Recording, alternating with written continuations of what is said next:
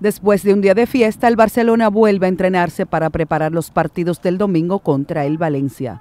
Alves entrenó con el grupo por primera vez desde que se le detectó un edema en el bíceps femoral de la pierna derecha. Puyol también trabajó una parte de la sesión con el resto de sus compañeros. En el entrenamiento de hoy estaban Tiago, que recibió el alta el jueves, así como Tello del Barça B. Pero el protagonista de la sesión fue Andrés Iniesta, quien recibió una sonora ovación por parte de su equipo, con la que celebraban su premio como mejor jugador de Europa.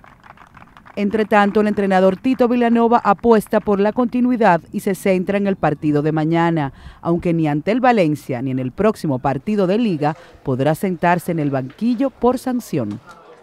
No, yo lo acepto. ¿eh? Ellos me sancionan y, yo acepto la sanción. Solo digo que, me gustaría que, fueran capaces y que tuvieran la personalidad de, mantener, de mantener este nivel y que cuando otros entrenadores les sancionen uh, sea igual, solo digo esto. Yo, siempre hemos aceptado las... Uh, cuando nos han penalizado, lo hemos aceptado siempre.